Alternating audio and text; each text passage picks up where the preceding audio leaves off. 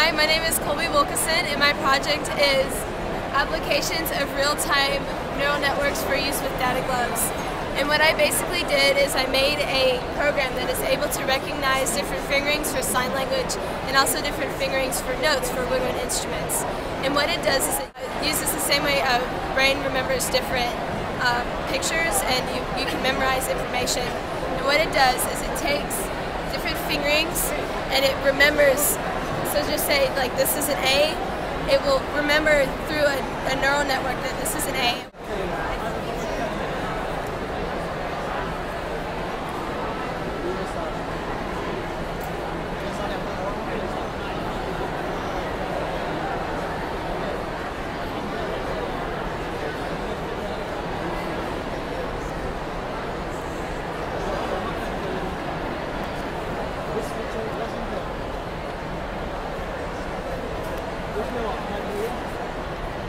All right.